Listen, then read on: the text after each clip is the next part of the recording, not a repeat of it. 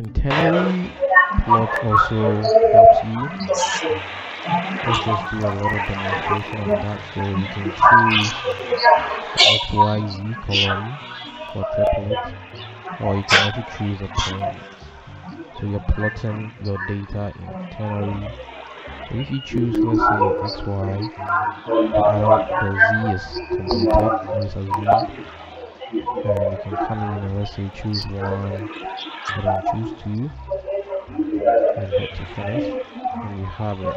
This way so the data is in this region.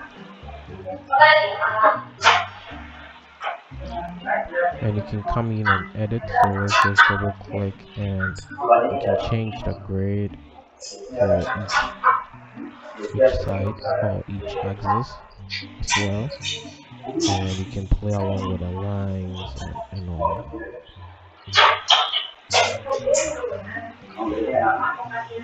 You can change the ceiling, you can change the range of let's say the Y, you can change the range of the Y.